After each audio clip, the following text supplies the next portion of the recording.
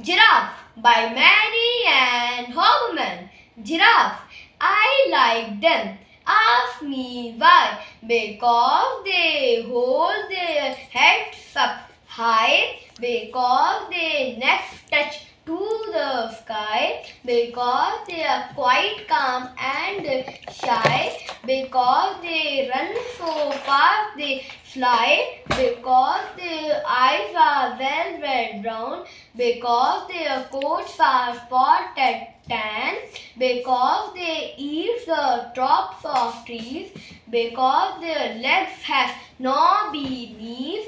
Because, because, because, because. That's why I like giraffes. Thank you.